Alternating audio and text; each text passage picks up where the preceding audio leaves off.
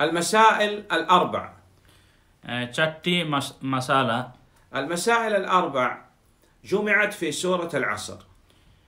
যে চারটি মাসালার আহ, আলোচনা পূর্বে হয়েছে সে চারটি মাসালার মাসালার বিষয়টি সৌরাতুল আসরে আল্লাহ রবুল আলম তিনি উল্লেখ করেছেন لابد أن تجاهد نفسك بهذه المسائل الأربع আহ,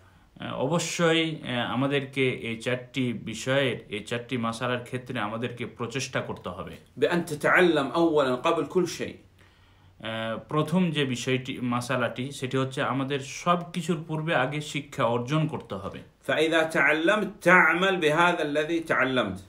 আর যখন আপনি শিক্ষা অর্জন করবেন তারপরে আপনার প্রতি কর্তব্য হচ্ছে তার প্রতি আমল করা لأن العلم ينادي العمل কেননা আহ, শিক্ষা অর্জন আমলকে চাই نعم وإذا تعلمت وعملت لابد أن تدعو إلى هذا الذي تعلمت وعملت به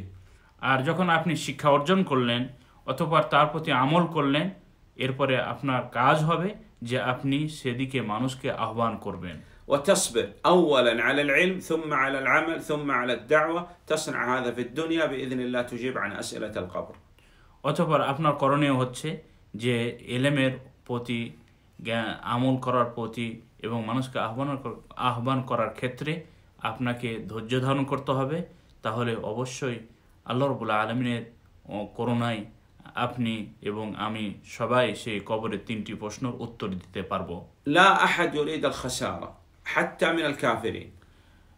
কেউ ক্ষতি চায় না কেউ কাউরি ক্ষতি চায় না এমনকি কাফেরদেরও কেউ ক্ষতি চায় না। فالذي لا يأتي بهذه المسائل الأربع هو خاسر আহ, আর যে এই চারটি বিষয়কে যে পালন না করবে এই চারটি বিষয়ের প্রতি আমল না করবে সে ক্ষতিগ্রস্তর অন্তর্ভুক্ত হবে الصبر ينقسم إلى ثلاثة أقسام আহ, ধৈর্য ধারণ করা তিন প্রকার صبر على طاعة الله حتى تؤدى كالصبر على الصلاة আহ, প্রথম নম্বর হচ্ছে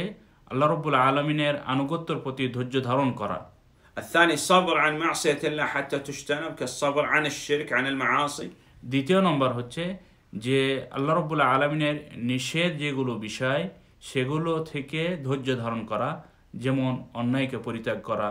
অপরাধকে পরিত্যাগ করা الثالث الصبر على أقدار الله ما يقدر الله على العبد مرض فقر ابتلاء حادث والله أعلم এবং তৃতীয় নম্বর ধৈর্য, ধৈর্যের তৃতীয় প্রকার হচ্ছে যে আল্লাহ রব্বুল আলমিন তিনি বান্দাদের প্রতি যে